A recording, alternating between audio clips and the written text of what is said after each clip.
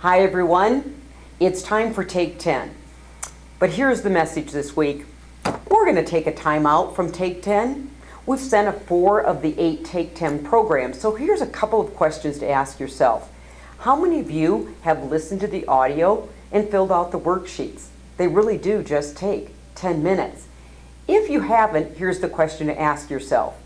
Am I giving into the pull of instant gratification, not setting aside time on my calendar to take 10 minutes to improve in my best asset, me?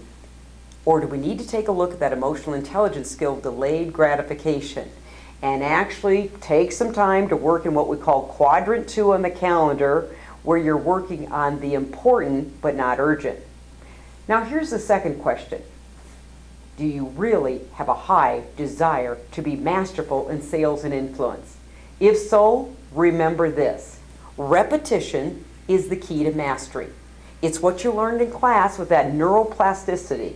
So, it's a time out this week from Take 10, and if you haven't looked or listened to your previous, might be time to apply delayed gratification and put in the work to get the reward. Thanks for joining me, Colleen Stanley, President of Sales Leadership.